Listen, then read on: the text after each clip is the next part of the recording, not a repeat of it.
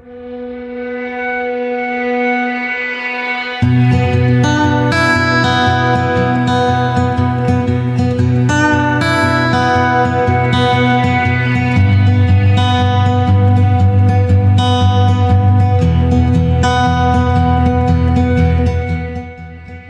today's episode of The Future of You, I'm blessed by the algorithm to be joined by a pastor and an anthropologist to discuss digital religion.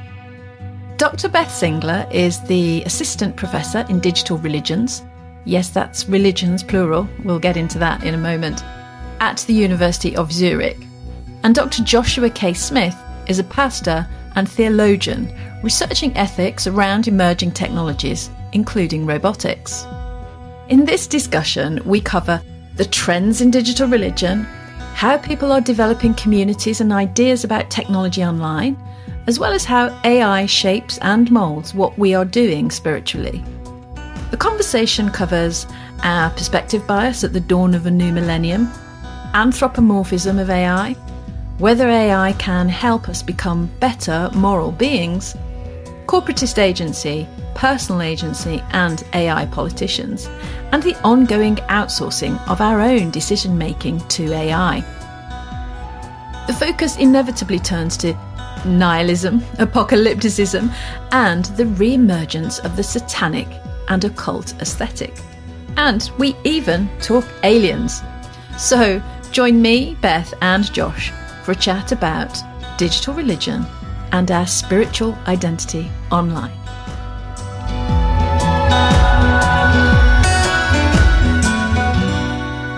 Well, hi, Beth and Josh. Thank you for joining me here on the Future of You. Great to have you both here with me. It's really great to be here and to be able to have this chat with you both. Yeah, it's nice to meet you both. I've been wanting to talk to you both for ages. Um, now, I'm right out of my comfort zone on this one, um, talking about religion and theology, but I'm hoping I may, might be able to catch up a bit on the technical digital side. For the listeners of the podcast, I wonder if you could both just tell us a little bit about what you do, because I know you are both in very, very different ways involved with tracking digital religion and looking at theology and technology and how they interplay in our culture. I wonder if you could just share a little bit of your work and tell us a, a bit about your methods in the madness. Sure. My name's Josh. I'm a pastor in Mississippi. Um, so in, in North America, I primarily do that as my full time job, uh, but I'm also a, a, researcher. And so I look into robotics and kind of the social ethics concerns um, from a theological perspective, of course, but uh, that's kind of my my area of focus. And I just kind of happened to fall into it by accident um, while doing um, my doctoral work and uh, just kind of, I don't know, I felt like it chose me. I didn't choose it. Um, so everything from war robots, sex robots, um, work industry, anything that has to do with kind of the disruptive technologies and um, and how that fits in with our ideas about uh, morality and, and ethics um, as a society. So that's kind of what I do in my night job, and my day job is just helping people in crisis and um, and trying to to be a force for good. Uh, well, I am the new assistant professor in digital religions at the University of Zurich. Uh, I'm an academic. I've been working in the area of AI and religion and religion and technology, um, well, since I went back for my master's in 2010, where I started looking at people's spiritual identities online. So I'm primarily an anthropologist rather than a theologian. I'm looking at describing and theorizing how people develop community and ideas on technology, quite often with a religious perspective. And then from 2016, um, I, after my PhD, I, start, I joined a postdoc position, which was looking specifically artificial intelligence. And that's been a through line of my work since then. So I look at both how religion describes and understands artificial intelligence, but also how artificial intelligence will shape and mold how we do spirituality, religiosity, uh, not down to a specific faith, but I look at all different faith groups and um, the development of new religious movements and new spiritualities on the internet and in social media. And basically that's uh, an area of particular interest for me AI and religion.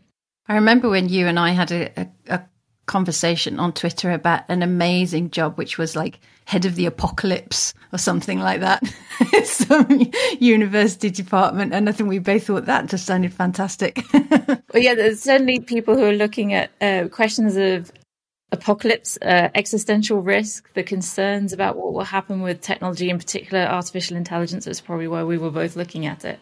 Mm. Well, we'll come back to that because it is we're at a fascinating time, I think, in which all of that's popping up again. What are your um, observations and insights around how this area is changing? What sorts of trends have you observed of, of late that you think are, are, are taking hold or already have taken taken hold and are having quite a big impact on various areas of our life, society, culture, etc.? Well, in in terms of the technology, it's it's really hard to keep up with the exponential growth of applications, and a lot of those applications are not very apparent. They're invisible. There's not very much transparency in where they're being applied and what's happening as a result of them. Uh, in the technology itself, with artificial intelligence, it's sometimes hard to understand why particular decisions and outcomes come out of uh, the algorithmic decision making system. So, in that sense, it's hard to keep up with some of the trends and the changes, but we can make some sort of uh, thematic continuities out in the discussion. We've already had mention of the apocalypse. Uh, as soon as there is the smallest, most incremental advancement in AI technology or digital technology, I immediately, as an anthropologist, see people online panicking about the end of the world and the Terminator and Skynet and all this is going to go down that very familiar science fiction route. So we're always going to see those sorts of repeating patterns. And as a religious studies scholar as well, I, I look out for religious narratives and tropes that repeat. Um, that we've had them historically for a long time, quite often monotheistic Western civilization tropes, but they play out again and again in our imaginaries of artificial intelligence. Yeah, I, I think it goes in cycles. Um, so we're just in another cycle of, of challenge and change. Um, not really anything significant, but um, like Beth was saying, uh, any any challenge to what we've kind of known always brings fear, and that is very much um, you know any, any challenge to our anthropology or um, I think I've been thinking a lot about electricity lately and and how uh, society responded to that, and it's very much similar to how we're responding to AI and advanced robotics now. Um, there's still a lot of challenge, especially from a religious perspective. You see a lot of pessimism, um, but a lot of inconsistencies in how people apply those technologies because we use them every day and incorporate them into our life. Um, and they may be very invisible as far as like how it changes us, but we're very humans are very inconsistent in how they are both afraid of technology, but they're also kind of attached to it in a lot of different ways. And and so I don't think anything is changed or is new. It's just we've we're in a new century, so we we just that's the only thing that's changed. And I think about this too, especially as my study of theology, and Beth knows this as well, is that you know, every generation has had like some type of vision of the apocalypse, and you know, for a long time it was the Pope. You know, this this is the Antichrist or whatever, and um, so I mean, I don't I don't know. Like I just try to be a, a false or a false optimist or a calm pessimist is kind of where I fall into, and, and try not to um, buy into the doom and gloom. You know, so try to be hopeful it's funny you mentioned that about because I've got it on my notes here to ask you: Is there something weird about the new millennia? You know, is there something about going into a new millennia that's I don't know creates some sort of, as you say, you know, fear and uncertainty, but maybe even more than that, like a moral panic, especially when there's new technology around. I don't know. Is it nothing to do with it? Is it, is it just um just accidental or, or what? I, I, think there's a there's certainly a perspective bias. So we are in this moment as individuals and as communities observing events and interpreting them as a part of our own narrative. So that leads us into thinking that this is the most significant time there has ever been because we are the ones because we're in it. We're in it right? So we know historically and obviously okay time is also socially constructed so the millennium isn't the millennium for every cultural group but we know historically there have been numerous fears of the apocalypse. I think to to pick up on joshua's point about um, technologies being disruptive. And yes, you can look historically and say, okay, the advent of electricity was a significant moment. It changed society, changed how we communicate, how we travel, all these aspects. I think what's slightly different, if not entirely new about AI, is the way that we anthropomorphize it. That it's not just a technology that changes things. It's a technology that is being created intentionally by humans to interact with humans. So that interactivity makes it significantly different, I think, to things like electricity or the spinning jenny of the Industrial Revolution or the emergence of the novel, that it talks back because we are creating it to talk back. It creates things that seemingly happen on their own.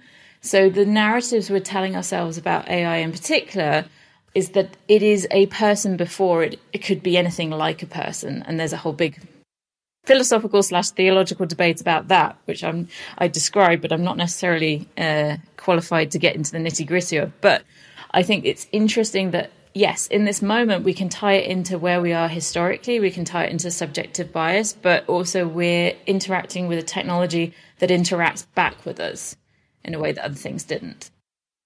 Yeah, I think that's one of the things that makes some of the best science fiction the best science fiction that it's about communications technologies um, and not just you know sending something up into space or some sort of military uh, technology. It is that that's what captivates people's imaginations, isn't it? So, and where do you two stand on um, this anthropomorphization of robots and that leading to conversations around robot rights and the way in which we will interact, as you say, Beth? Um, I mean, do you take the instrumentalist view, or are you a bit more I don't know, a, a bit more open minded about the way in which we might come to emote with these beings. Yeah, I've um, I've been on a journey with this question um, for years now, thinking about um, the nuance here when we talk about persons and we talk about something I think that is a feature of human uh, of us as a creature, um, a created being that we want to see ourselves in our creation. We want to see ourselves, um, even in the animal kingdom, and how you know we deal with domestic pets. And I would say even how if you really look at things like cattle and stuff, and you look in their eyes, you see a lot of beauty. You see, not that we know what it's like to be a cow or any other animal. Um, you can make assumptions, but we project something to them.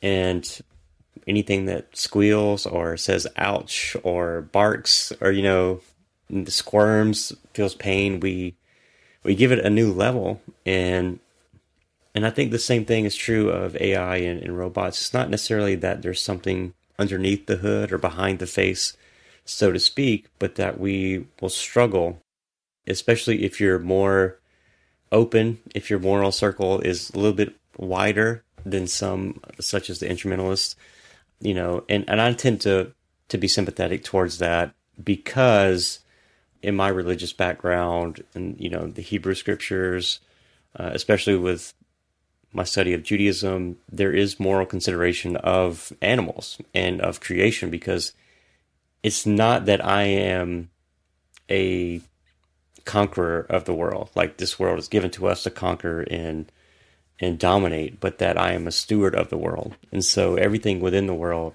is for me to help flourish, to make it grow, to make it blossom, to create beauty, to be creative with that. And and I think AI and robots certainly can be a part of that, but there's also a darker side um, that we all know. It can be very destructive, very disruptive. And so I see our part as not necessarily saying yes or no to whether or not we give more consideration to certain robots, qualified robots or AIs, but to to make sure that you know it's not harming other people, um, it's not um, socially disruptive as and some of them are very disruptive right now, and are causing harm, right? And so I see it as a way. I see personhood as a way to kind of mitigate some of those harms, it's not necessarily for me about you know making a, a robot person like me. Um, I don't think that'll ever be the case. Uh, I think we're we will always be biologically distinct.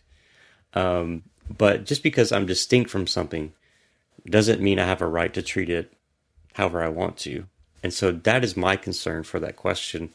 Like I'm not saying habeas corpus all rights to robots. You know, um, I'm very closely related to David Gunkel's argumentation uh, um, there. Uh, I mean, we dis- we disagree a, lot about philosophy and, and different things, but um, I think we're on the same boat, so to speak, in that regard. Like, there are societal benefits to granting a robot rights or considerations or whatever, um, not on the same level as humans, but for the benefit of humans. And I think, yeah, we should consider it. And I think rights in general should be all things on the table should be considered. We shouldn't just ever say no, we're not ever going to consider this.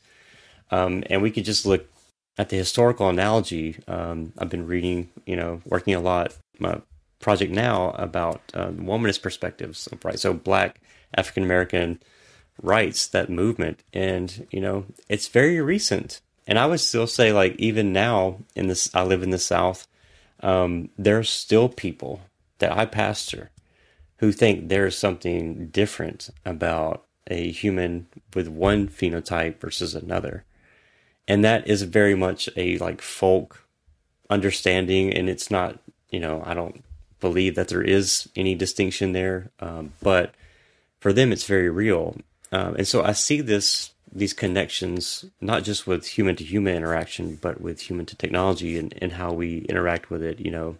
And some of the arguments are very eerily similar. And uh, I think I have a lot of problems with some of that logic. And if you look at how the history of technology and how the black body has been imagined as a technology, I think there's even more problems about the language that we use to describe it. And so I'm very concerned about some of these arguments, and um, that's more than you asked for. But um, that that's my heart as far as like the social justice side of it, and what I'm concerned about as a theologian and pastor um, about how we're using this, and sometimes a lot of people just dismiss it altogether. So, yeah. I'd like to um, partially agree, but add add some sort of caveats as well. So, absolutely, I agree with the the the the positive of recognizing historical continuities in our discussion of both non-human and human others, including sort of, as you say, indigenous cultures, that when we, quotation marks, encountered intelligence elsewhere, there were long debates, sometimes theologically informed or badly theologically informed debates about personhood. And we see analogies now to early discussions about AI and robot rights. My caveat is that with our natural tendency to anthropomorphize, we can see corporate hacking of that tendency. So yes, it's it's it's valuable to have conversations about rights because then, of course, you raise these issues and you expand our consideration to say what would happen if this could happen. But already the conversation is being pushed there by some corporate interests who want you to focus more on the question of individual agential AI's rights versus what is the corporation doing when it creates that algorithm that makes the decisions that has particular weights on it that has outcomes for particular groups so if you if you hand over agency too soon to AI, or even as some of my work looks at super agency, when people start to think of AI as already super intelligent or even godlike in some ways, then it just obscures the role of humans in the machine. That humans in the corporate setting have made specific decisions on how algorithms will work, and that's not individual agent agency in an AI. That is a corporate agency, and that needs to be that needs to be highlighted as well. Have you got any examples that you're thinking of specifically of those sort of corporatist versions? Well, I mean, it's sometimes there in the nebulous public discourse. So when figures like charismatic authorities like Elon Musk start talking about the dangers of summoning the demon with AI, that narrative pushes this idea that it's already it's already somehow in that instance malevolent that it's also somehow making decisions for us. And some of my ethnographic research has been on people's conceptions of AI, as I say, as more like a godlike entity, where people on social media report feeling that they've been blessed by the algorithm because particular decisions, say if you're uh, in a gig economy role and as a Lyft driver or an Uber driver, you get a series of good rides and you make lots of money, the feeling that you've been blessed by the algorithm might be reported. It's not, it's not a large scale thing. The actual corpus I looked at was very, very small. But if we skip quickly into the idea of AI as already having agency and then beyond that, some sort of form of super agency, then we obscure the fact that those corporations like Lyft or Uber or YouTube with recommendation systems are making decisions that benefit them from within the framework of capitalism. That algorithms are designed to either garner attention or be efficient in particular ways for the purpose of making profit. Um, so if we start thinking of AI, I'm going to make a pun. If we're going to start thinking of AI as profits, we'll miss that AI is about making profits. Yeah, that's good. And I, you know, I think as a Westerner, um, you know, we we can't think about technology without thinking about capitalism in a lot of ways. And so as we think about Turk work and these ghost workers and different things, I think a lot of it has to do with like, and I don't mean this, you know, facetiously, but I think a lot of people are just very ignorant of about technology in general. Um, not that we aren't, not that we can't use it. And so we could go on YouTube and, and find um, small kids who can teach you how to code things on Scratch or C or, or you know, but as far as like actually understanding some of this stuff, I don't, I don't think that we, we have a lot of knowledge about that. And I think that's why it's so hard in, and even jumping to the question of robot rights, it's just so discombobulating for a lot of people because they're like, I'm not even sure some some of my people understand how rights work. And I'm not and I'm not saying that if I wouldn't have studied it the way that I have and others like I wouldn't either. And and so it's not a judgment. It's just all these things are so complex and so esoteric to the public. Um, and so sometimes it's overwhelming. Like, how do we even educate people? Like people that don't read, people that are that their only concern is about the pragmatics of everything. Will this technology help me in my business? Or, and so when I think about this, as far like the church, there's not much, if anything, that's you know trying to make an altruistic AI or platform that has no desire to manipulate or you know. And I think about this in terms of uh, the Replika chatbot and stuff, like purposely, as Beth was talking about, manipulating the consumer to upgrade to certain features. And I think that's the biggest concern that we need to educate people about is that your technology is not working for you. it is working against you in many ways. Um, and even the the stuff that we're using right now, um, why why does a particular platform want me to use Chrome? Why does it want me? To, because it wants to steal from me. It wants to take um, analytics from me and um, can't use DuckDuckGo. Uh, I can't hide from it because it wants my information. And to a degree, most people in the United States, they don't really care about that. They don't, they say, well, what do we have to hide? I'm like, you know, you, like you, I mean, you have a lot to hide and there's a lot of value to your information. Um, and so just to go along with what Beth is saying, there's a lot of people, at least in my context, just don't care, don't want to know, and they're they're okay with the manipulation part as long as there's a payoff and a benefit. Um, and so it's the the click agree boilerplate type stuff that I'm not going to read. I don't care about. I just want to use iTunes. Um, so who cares? And and I'm still not sure how to help people make that jump from okay, um, I know I should probably care about this. I'm like, would you want somebody to sit and observe your children, like just in just outside your home? Would you would you allow that? You know, so that they can send you an email saying, "Hey, Susie or whatever, um, she likes these things. Here's a Christmas list for you." Um, I'm like, there's toys that do that, and you know, I, I don't I don't know. Like, there's just there's so much happening. Um, in our Western mindset to kind of push that aside. While, like you say, that we are totally being taken advantage of and being manipulated either by film and these narratives that we get pushed before us, you know, Skynet, Terminator, um, every every movie that comes out about AI robots, um, somebody's gonna, you know, take advantage of you or you should be afraid of them. But no, really, it's the the creators that I'm afraid of. It's the human behind the machine that I know from my anthropology. I'm like, that's who we need to, you know, tie up or you know, round in, and so that they can understand that it's it's not okay just to make money off people. It's really interesting that because I, I used to think it was it's just the path of least resistance for most people. They just want convenience. But when I started to do um, quite a lot of research with, I suppose, what we'd call Gen Z. Um, well, they were in the early 20s at the time, and it was on a specific project about the future of media. What I realised was that they were outsourcing lots of decisions more than I even realised to, I suppose we could call it machine learning or AI. And I remember a couple of different specific examples. There was one example of a girl who was saying that she wanted an AI or uh, or a bot to tell her what fashion most suited her. And we had this discussion about, well, isn't that the job of your best friend?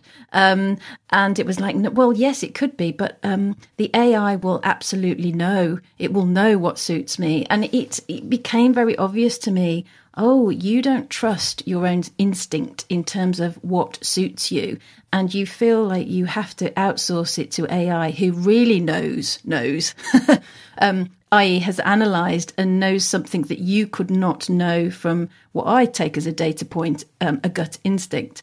And then there was another example of a guy who was like, well, I want the fridge to shut its door and lock itself when I've had too many calories that day. And it made me realize that they want AI to self regulate them. And it made me wonder do we think maybe it's beyond just the convenience and somehow maybe even unconsciously we're hoping that ai will make us good. Ai will make us more moral put us on the right path. I don't know how to express it but that's sort of one of the things i was i think i was starting to realize and it was particular to that younger generation but then of course i hadn't compared it with older generations. But I, I don't know what your thoughts on that. Do we think we're somehow making using ai to make us good I think definitely there is a very strong narrative, and you, I mean, you can trace it back way before we had something that we called AI, but a very strong narrative of the irrationality of humanity and the rationality of machines. That there is a way to purify all the good things about our intelligence and replicate it in a different format so that it doesn't succumb to all those problematic messinesses that humans have. It won't get angry and it won't get hungry and therefore hangry. And I'm a very hungry person, so that I recognize that.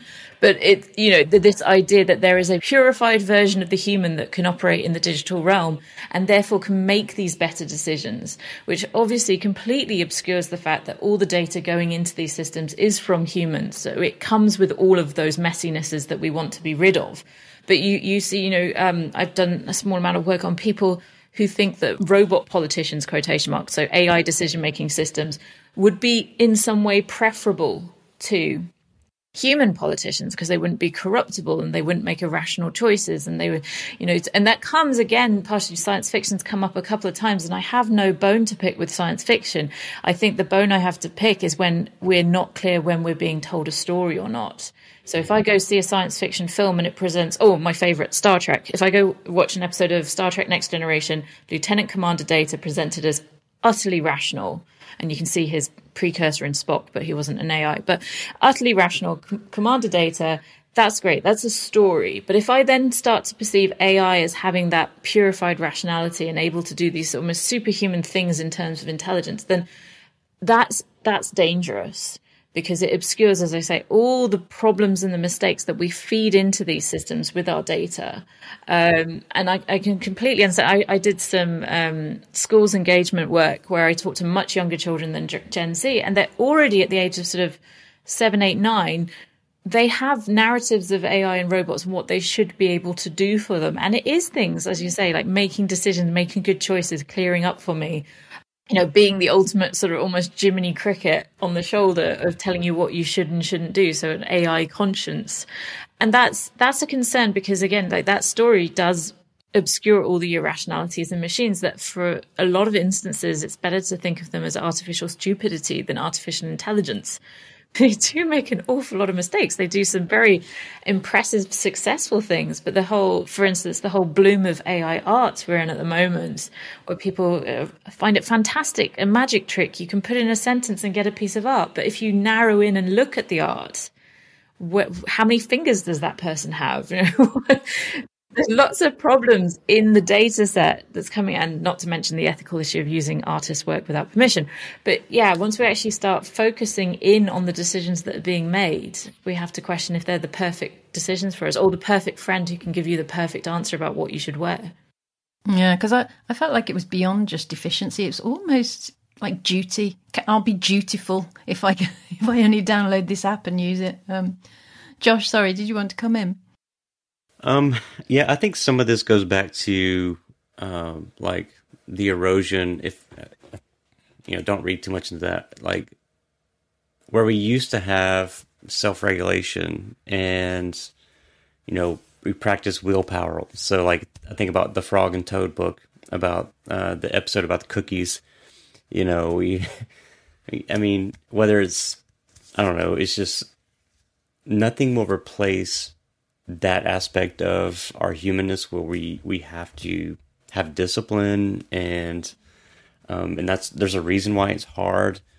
Um, but also the fact that like you and, and, Beth were saying that if you look inside something you look inside its code um, those that make stuff those actually they understand that it's not perfect.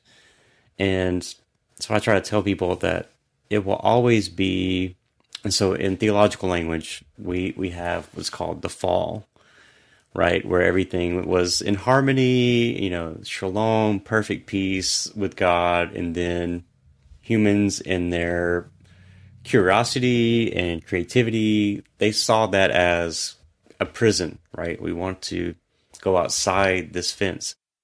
And so from that moment, which I think every human understands, right? Even from when we're little, we we want to do something opposite of what we're told. We just, for whatever reason. Um, and so I think AI, robots, they're they're always going to be a part of that system because it's tied to the system that we're in. So I think all things in harmony, like all molecules are attached to one another. So we, we can't just say that, you know, all this stuff comes from the ground. It's connected to a fallen world. We can't say that it's somehow going to be perfect just because we polish it and put it in a nice plastic package, now somehow it's different. No, I mean, things still lead towards death and destruction, decay. That's the natural progression of life.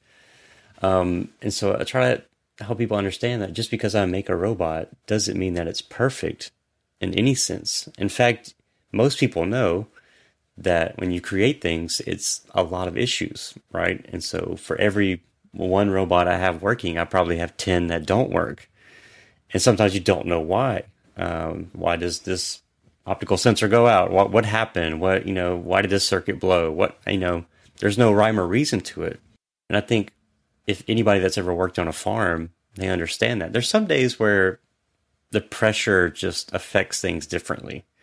Like the electronics in in the houses and stuff. They why aren't they working? Why did that sensor not work? And and now the heaters are going on too high and all like maybe nothing's wrong, you know, but it's just not working right. So, you know, I think about this from agriculture because there's a push to automate farming and different and that's I think could be great in some ways. Um, but most farmers are pessimistic because they understand yes, tractors are amazing tools and, and help us be more efficient in farming. But unless you've worked on one, you don't really understand the like things break easily. And even now, like farmers are struggling because John Deere won't let you work on their tractors now. And yeah, so I mean, it, the more we integrate, the more complicated it, that relationship becomes. And, and just my last point here is that um, with AI politicians stuff. It will always be, in my opinion, will always be a human machine team. And this desire to outsource regulation, temperance, discipline, uh, it, I don't think it will work. And I'm total pessimist about that because we will always be, and I, and I look at to, um, in in the Department of Defense and stuff, where we get all this technology from and all this research is, you know, even there they understand it will always be human machine teamwork, and um, and so I don't envision a society where we're completely. Some do, um, like this complete utopia of robots doing everything and humans just have all this leisure. Um, just because of practical experience, sometimes the robots just aren't going to work. Sometimes the sensors aren't going to connect. Things blow. Um, I don't know. And maybe we'll get to the point where they can fix themselves and stuff. But um, I don't know. I feel like there'll always be a need for us to work together. Um, and I think a part of our desire to separate from that is a part of our fallenness as well. And our, our weakness is that we, we're made for a relationship. We're made for connection uh, with humans, with creation, with animals, and we have this kind of rebellion with it and, and this tension. Like I'm a pastor, okay, so my job is people, and I tell my people this all the time. I don't like people. Like I'm hardcore introvert. You know, leave me alone with books. I'd be perfectly fine with an R2D2 or, you know, a Dio, whatever. Like that to me would be great. But that's not, in my opinion, why I was made and created and the lineage of what I'm a part of. Um, and I think that is, is a fault. Um, so, you know, I fight against that and I try to help people understand that, you know, we, we're supposed to do this together and we can make wonderful tools that certainly at some part could be our friends and um, perhaps even better friends, but we shouldn't forego all of our calling and I guess our duties in a way to to outsource that. And the more we outsource, the more I want I worry that we're kind of subverting our our original design, maybe. Um, so when we think about good and use that word, um, what is the good? I think you know, well, depends on what the design is. What was what were we made to do and why are we here? What's our purpose in life? And so if that is meaningful relationship connection, then I don't think it's a good design if we make things that take us away from that. And certainly we can use technology in a good way that that does fit into that good design. So that that would be my challenge um, for the next generation coming up, and even for myself, I guess. I hope you're right because this um this is an interesting point about the AI politician because I feel like during the pandemic we came kind of quite close. It was almost as if, hey, let's trial this idea that politicians can be replaced by uh, modeling and AI and etc. And, and and technological incentives, or really. Um, it's interesting that this has come up today because I was just I don't know if you saw that piece in the I think it was in the Atlantic um, that went around Twitter like wildfire this morning. It said, let's declare a pandemic amnesty. We need to forgive one another for what we did and said when we were in the dark about COVID. And I was like, hmm, interesting. Like, is this a, you know, is this about redemption, forgiveness? If so, you know, what, what's been committed here? What sort of injustice has been committed? And, and I would say that uh, without getting into the whole COVID thing, but I would say there was lots of coercive behaviour. Um, there were incentives being built into technologies and into narratives, Beth, that, that people were being nudged by, and, and sometimes rather unconsciously, and because they wanted to be a good person and behave in a moral way and not be branded or shamed as selfish. I think a lot of people were pushed into doing something they didn't want to do or were threatened to, you know, losing their job if they didn't, you know, carry out some medical instruction. The whole area of bodily autonomy was up for grabs and and and what we saw was technology, sort of whether it's track and trace or PCR tests, whatever. It kind the whole technocracy took over, and there wasn't very much space for human debate, discussion, or any humanity. Actually, I felt the the whole thing was really rather dehumanizing. I don't know those are just random thoughts because I was thinking about that Atlantic piece this morning, but I don't know if you want to speak to it. Yeah, I, I, have seen that piece, and I've I've seen who it's come from as well, and and people are obviously picking out particular things from that person that they said during the time and saying, "Why would you want an amnesty based on this?" Oh. um, I think my my particular interest is uh, in in that era that we're not out of the era of the pandemic was where modeling was, as you say, we, we had uh, modeling going on. We had modeling of the of the pandemic, but there were uh, attempts to avoid dealing with the modeling of the pandemic or to, to see it as overblown. So there was that human element there. But my particular interest was um, in the algorithms that were employed for predicting students' grades during the pandemic. Because um, I wasn't directly involved, but I have a small, or I had a small admissions role at my college at the university. So I got to talk with a lot of people who were more directly involved in, in dealing with the admissions problems that that caused. But you could see like the frustration of very capable students who were told that they weren't capable because their schools historically didn't have a history of sending students to Oxbridge or other excellent universities. And that kind of what I call al- algorithmic thinking that you are bound to the history of your context, you're bound to even your own data set that says previously you've done this well, so you can't possibly do very well in the future that has wider repercussions. Um, and it, it, fits in as well to the modeling of the pandemic because it, our, our knowledge of what was going to be successful at the beginning was very limited.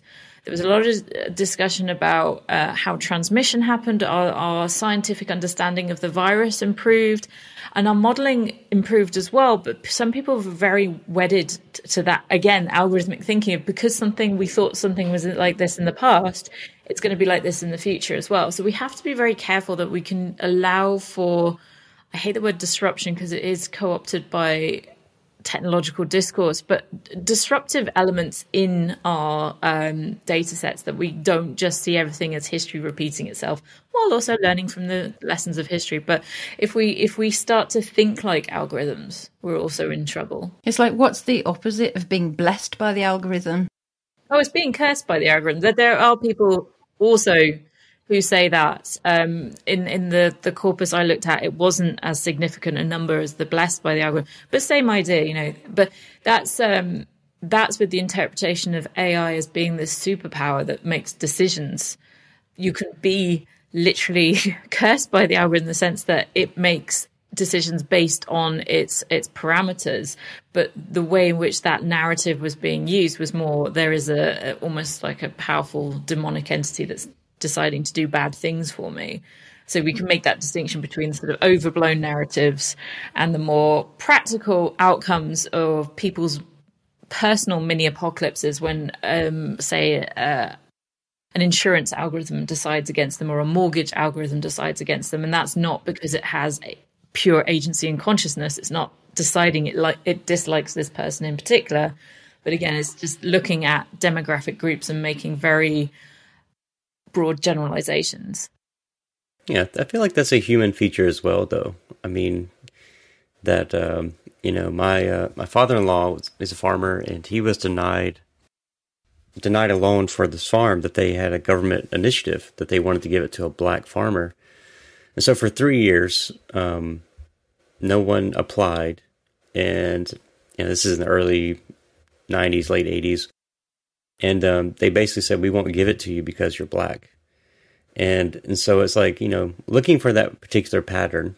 Um, I think that's a very human thing. Yeah, it is absolutely. Which is, you know, what I'm saying. We have to be careful. We we don't fall into that kind of thinking, but also that we don't reinforce it with our algorithmic systems. Like we were talking about earlier, that the the view of AI as being have, having perfected rationality. We're only going to reinforce those kinds of unfair systems if we think that it's actually making better decisions, but it's making the same kinds of decisions that we've made historically. Yeah, you know, you're just able to instead of using a human to you know force your will you're now able to kind of hide behind the veil of uh, your code. And um, and I think that's just going to be a part of it uh, in a capitalistic economy. And and I and I think there's there's ways to mitigate that um, but I don't I don't know how realistic they are I I mean I hope for them to be a reality and I look at uh, barristers like Jacob Turner um, who who's written a book called Robot Rules, um, which is about AI um, and how to regulate it. But again, it's it's going to depend on government agencies um, to ensure that. It, so um, I don't know. Like I don't know how realistic it is. If we're not a human machine team, right, ensuring that this didn't happen or um, being accountable um, for what the system does. And it's just like um, in the gig economy with um, wasn't was it Uber or um, one of them that the AI just started detecting fraud and some of it, and they started firing people. The AI did. But we had in the in the UK we had a very bad case with the post offices and the algorithms they were using to judge whether the um, so post offices are so, sort of like a franchise, whether the, the individuals and couples who were running the post offices deciding whether they were committing fraud or not. And lots of very innocent people got accused. There's been a whole massive court case where they've tried to get restitution for it. Yeah, same sort of idea. I have two pressing questions I really wanted to ask you. The first one is, what about Satan? I know. My, uh, you know, we often talk about AI and these being these godlike tendencies and superpowers or omnipotence, but there seems to me, and uh, you you can put put me right if I'm wrong, um, Beth, but there seems to be an awful lot of a, a kind of occult aesthetic around at the moment, and also all of this chat about conspiracies, but also secret societies and what is all that about at the moment and have I, have I just woken up to it or has it just been around forever we need another we need another hour or two for me to, to delve into that but absolutely there is uh, as I said there's there's continuities of religious narratives tropes and images when people discuss technology and I mentioned Elon Musk talking about how AI could be like summoning the devil or the demon. Um, and that's absolutely an aspect of it. And I don't, I don't approach this theologically. Perhaps Joshua would like to do that, but I look at those communities of thought around those ideas and looking at some of these very strict uh, moral utilitarian rationalist groups who start talking about AI as basically evolving into something demonic. That's uh, it's very complicated. I won't go into it now, but uh, thought experiments like Roko's basilisk, which describe the ultimate superintelligence singularity AI as being capable of of basically punishing people in hell forever. They they draw very much on existing religious narratives. Their conception of uh, a very simplistic view of monotheism uh, and that has space within it for hell and and evil and Satan and all those things. So, so for some people, that's a very strong reality. Some people, if you look at the overlap between um, groups like QAnon and some conspiracy theorists and their views of transhumanism, which again is a whole big subject we could get into, but for some people, transhumanism is is from Satan.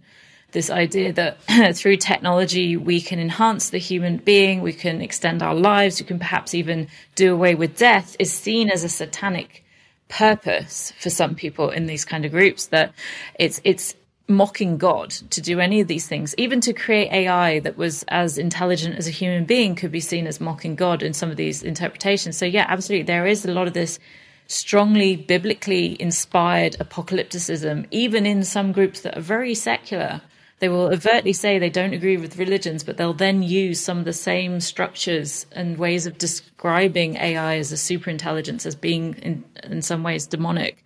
So it, that to me is fascinating, and I have written various different things on it. If people want to dig around in my work, but I don't, as I say, do that theologically. So Joshua, if you want to jump in and talk about Satan, that's up to you. Yeah, um, I always love that. Um, yeah, I mean, I, I think what we have a tendency to do as humans is anything that bad happens in our life, um, I mean, just even without AI and stuff, it's like that was the devil or whatever. And I hear people say that, but theologically, it's nonsense because everything that we know, or at least in my theological world, every you know things happen under the sovereignty of God. So even technically in our system, even Satan is under the sovereignty of God, so he can only do that which God allows him to do. So it, it just doesn't make sense to kind of use that.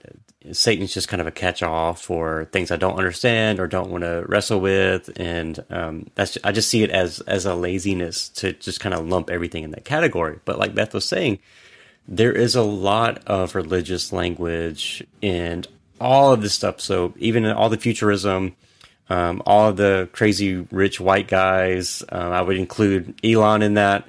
Um, this vision of you know overcoming like technology is going to overcome things. Um, I find a very different narrative in the works of um, especially female theologians and others. A very different, and even roboticists. A very different emphasis on you know caring for society versus escaping. Um, anyway, that's it. You can read more about that in my work if you're interested. But um, yeah, I, I do think there's a tendency to blame things that we don't like on Satan and kind of put him. And we've always done that, by the way. I mean, it's just, um, I think it's just a part of our, our nature just to kind of ascribe that to something we don't like or a figure that's supposed to be bad. And, and I think that kind of all gets to a roundabout way that all of this stuff, all technology, all of its efforts in some way or another is a religious effort. Um, and so I think the enlightenment has failed in that regard. Like, you know, the removal of that, um, part of our brain or our thinking, it's, you can't undo it from people. Uh, no, no, matter what system you're in, all people have a worldview, um, that they, you know, operate in and that they're trying to find meaning and purpose in. Um, but I think in a lot of ways, people are very religious to that. Um, and they incorporate different aspects of different thoughts and worldviews into that. So ideas about heaven and hell, we use words, you know, good and bad. I'm a good person, not a bad person. You know, you just kind of dig around and say, what do you mean by that? And um, and even with technology, I think, just my personal opinion, um, it's not wrong to create things as long as it's not oppressing, hurting, enslaving another, um, and that you can keep it accountable. Like anyway, there's lots of biblical principles behind that. But I think the biggest thing that irks me about this conversation is that people, anytime people use scripture or the Bible or any worldview, and they don't understand that reading is an ethical project, right? And I think that's where uh, there's so much terrible stuff comes from is you know taking a, a, book like the Bible, which is a very dangerous book if you can't read well, um, and then taking views about technology uh, that's a very dangerous combination. The Bible is dangerous just by itself, right? Lots of women and children have been killed just just uh, in the name of God, right? And so, um, and with all this stuff, we we have to be ethical readers, um, and we have to be very diligent about why this person is saying this, or why why is this billionaire saying these certain things about AI, and then now he's making uh, an AI humanoid robot. Like, I mean, people are much more simple than we this it's about money, right? It's it's, it's all about money.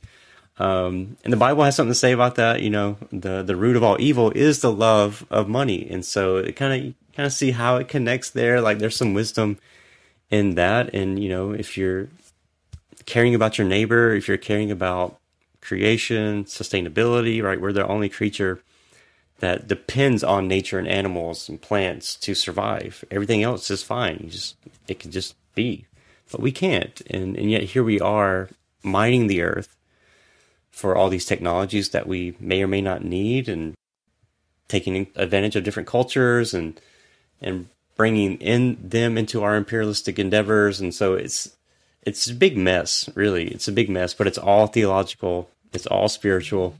Um, and, and I think at the end of the day, we just have to stop saying it's Satan's fault. There's some abstract thing that we're kind of pointing it to, and then you know just kind of look in the mirror of our own desires and deceptions, and say, you know, how am I contributing to this process? Very good, interesting. It it makes me think of um, I've got Douglas Rushkoff's book here. If you read it, Survival of the of the Richest, because um, it ties into a few of those threads we've been talking about. Um, one of the um, bits of blurb on the back says, um, Survival of the Richest is more than a primer on a soulless worldview pervading all aspects of life, defying fantasies of escape from each other, from earthliness, from earth. Rushkoff offers something at once more realistic and more imaginative, mutual regard, responsibility, and flourishing. I thought that's um, I mean, it's a fun. It's kind of a funny and tragic kind of um, uh, but when you read it, but it's, it's, well worth doing. It makes those points, um, and it kind of brings me to, um, I guess, my final question. Although I'd love to speak to you for ages about this. I'll ask two questions. Take which one you want, really, because they are connected. I was wondering whether AI will be more successful in a secular society in the future, like China, than one that's perhaps Judeo Christian or has a sort of Catholicism, a tradition of Catholicism or something like that. Or the other way of maybe thinking about the question is, you know, 50 years from now, will we be less religious or more religious as a society? Well, I want to I want to tackle the secular religious distinction because I, I, as a critical religious studies scholar, that doesn't doesn't really hold a lot of water. We have we uh, we've been talking a lot about narratives, and the secularization narrative is another one that emerges out the Enlightenment, and it's really very connected to our view of the possibility of a pure human rationality that religion will decline and go away. And I like to say that I'm the person who's read Dan Brown's Origin five times, so you don't have to. Um, and it's the same. It's the same story that uh, AI will destroy religion because it will make us more intelligent, more rational, and more, you know, adult, more grown up. Um, and so your question about, you know, will AI be more successful in a secular region? I mean, yes, I, I debate whether China is a secular region. It's just, it depends on how you framed religion. And for Western culture, we frame it around, as you say, the Judeo Christian, which again needs a lot of unpacking, but the kind of the monotheistic model when actually there's a lot of actions going on, including some of these transhumanist ideas and groups that we've been talking about doing religious things without calling it religion. Um, so I, I, agree with Joshua made the point earlier that religion is a part of who we are. We just, I, I would say we call it different things at different times. And whether or not we call something a religion is an ideological act which has power in it. And you can either be positive about calling something a religion or you can be negative about calling something a religion. So, to go to your second question, because I want to quickly deal very fast with both of them, I don't think it's possible to see a decline of religion except if you define it in very specific ways. And that's where all our graphs about the decline of Christianity come in. But that's because we have a very specific model of what religion is. So no, I think the future religion will be just as important in its multitudinous forms, um, and it will be a question of whether we call it religion or not. And AI will be entangled with that because religion is entangled with society, and so is AI. I mean, I pretty much have the same opinion there. I mean, I don't. I, I, I do think that places like Japan, I know it's more so atheistic. I, I still like that's you know, you have to really, you know, delve into that. The embeddedness of Shintoism. And I think, like, I think that will lead and has led them to more integration of, especially robotics, right? Where it becomes a part of the family systems, you know, in a, in a way, right? Um, so I think it just deals with. I just want to. I just want to quickly big up Western animism because it never gets a mention. Yes. Yeah. So we always talk about Eastern animism and Western animism is forgotten, but we have strong animistic roots and they are still there. Why do we ignore them though? Why do we ignore Because that? again, it's that na- meta narrative of, uh, I mean, this isn't my term, meta narrative of the rationalization effect of the Enlightenment that we quotation marks in the West became more serious and sensible when we did away with religion, but them over there in the East, they didn't. I guess it's an othering. It's a you know, it's it's Orientalism to say. But it's, I'm not saying Joshua's wrong. I'm saying it's to reflect back on ourselves and say we also do these things. We just haven't categorized it in that way or or noticed it. Exactly. Yeah. Yeah we have robot priests in Japan and we have robot priests in Germany. I mean, it, we've done things in the, the same similar sorts of ways because we're excited about robot priests. no, I think it's all the same. I think you know, even um, like there's a lot of First Nations in this area, and it, it's it's everywhere. Like it's not it's not just in the East, um, and I think that is a shame that we only think about that. But I mean, it's it's so fascinating to me. Um, we look at these different cultures, cultures that we are part of, uh, part of our family trees in the West. But then, like you're saying, the Enlightenment has told us we have to have this one particular perspective, and faith and reason can't possibly go together. Um, but I'm like, there's faith and reason in all things that we do, you know, and I have faith when I get on an airplane that it's not going to crash, like it's going to, you know, the pilot's not going to be drunk, and so faith is a part of our lives. It's just how we want to talk about it and integrate it, and and like Beth was saying. But I do think we will slowly get to where people are in the Eastern perspective. I think we'll we'll open up to that more. Is where I was going. Um, it's just Japan's just a little bit ahead of us. China's just a little bit ahead of us. But I th- I see this kind of like melting pot happening in different societies as far like integration of different perspectives that I've talked to people about, especially religious things. Like they're they're picking parts of Buddhism or they're picking parts of of this religion and saying that it's mine. So you know, I'm I'm Baptist, and so we we talk a lot about you know why are people leaving the church and stuff. And it's like it's not that they're leaving the church; they're leaving this church, yes, but they're just picking up on different parts of religion that they maybe have never heard before. And so maybe they weren't taught about animism, but they actually have a lot of those beliefs, like Beth is saying, and they actually have a lot of those practices. Um, and so and then the cultures where it is a part of their culture. It's like now they're they're more atheistic, and so it's just kind of maybe this reversal uh, is happening where we are in the cycle now. I don't know, but um, I'm I'm not of the perspective that religion is going anywhere, that we're becoming less religious. If anything, I think we're becoming more religious in some of the things that we believe about AI and especially about robots. Um, and so I, I think we're just I don't know, just kind of hodgepodge picking what we want to believe now and we're no longer just fully accepting our grandparents and our parents' religion.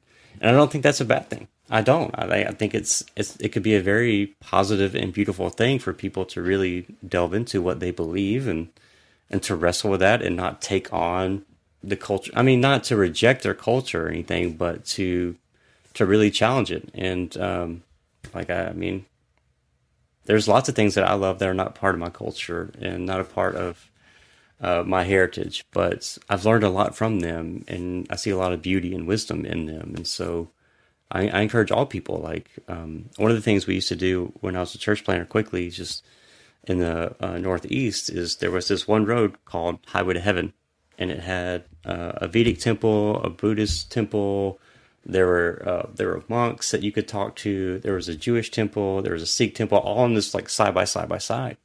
And we would take people there and we say, look, ask them questions, uh, whatever you got, you know, whatever you would want to ask me, ask them, and we'll look at their answers together, and we'll look and and respectfully dialogue with them. And I think people always walked away from that like more like solidified in what they believed originally. They're like, this this is what I believe, and and so I think there's there's a purpose to that, and and it's great to dialogue with people that are not like you, and and to be open to to dialogue. And and I don't know if Beth has encountered this, but I have in these circles is that you know not a lot of people want to talk to a theologian about some of these issues, and I'm like, why wouldn't you want to talk to an anthropologist? I mean, this this person knows a lot about history and traditions and you know how we assimilate these ideas together. And um, these are the people you should be talking to and not to say anything bad about computer scientists but i'm like what do they know about some of these things? And so they're like well what do you know about computer science? I'm like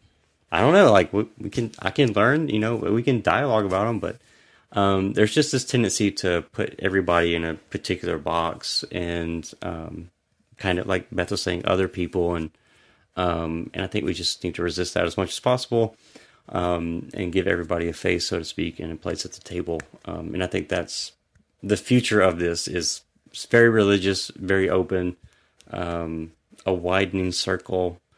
And people don't like that, though. There's, there's a lot of people that want homogeny and um, sameness. But uh, so the beauty of all this, this conversation is that it challenges perspectives.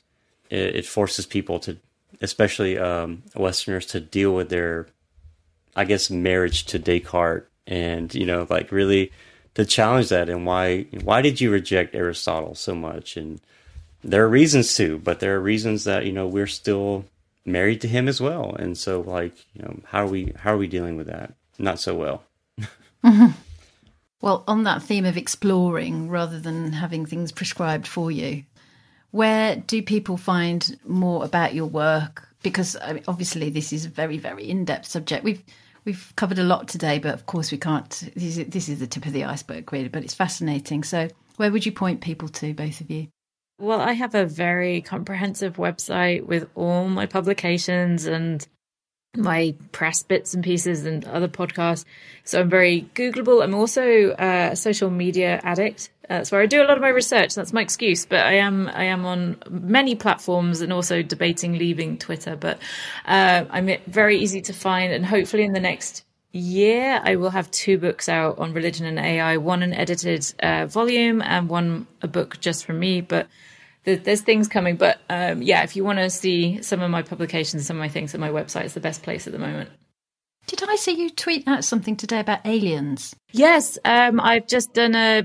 Well, I don't actually know how much of me they use, but I was interviewed for a BBC documentary on uh, first contact with aliens. Yeah, from the perspective of an, of an anthropologist, you know, think very briefly. Um, encounters with aliens is in some ways parallel to our encounters with how we perceive AI becoming as well. So there was a bit of that discussion and the societal impact of first contact. Joshua K. Smith is my website, and um, not as much material as Beth by any means, um, and so um, still kind of new to the game, new to the table. But uh, I have three works coming out in the next couple of years, um, so I guess be on the lookout for those. I'm not really sure when and where they will be published, but uh, definitely excited about some of the publications coming out on AI and, and warfare, AI and Christian theology, and then um, AI and Christian ethics. So if that's your cup of tea, then you'll be interested. Absolutely. I think between the two of you, you pretty much covered everything. Next time we do aliens, right? Yes. Yeah. Want, That's a deal. I want to hear that. Yeah. Thanks so much for your time, both of you. Been a pleasure. Thank you, Tracey. Thank you very much. Thank you both.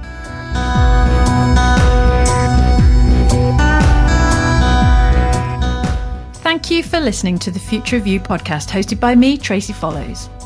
Do like and subscribe wherever you listen to podcasts to make sure you don't miss a single episode. And if you know someone you think will enjoy this episode, please do share it with them.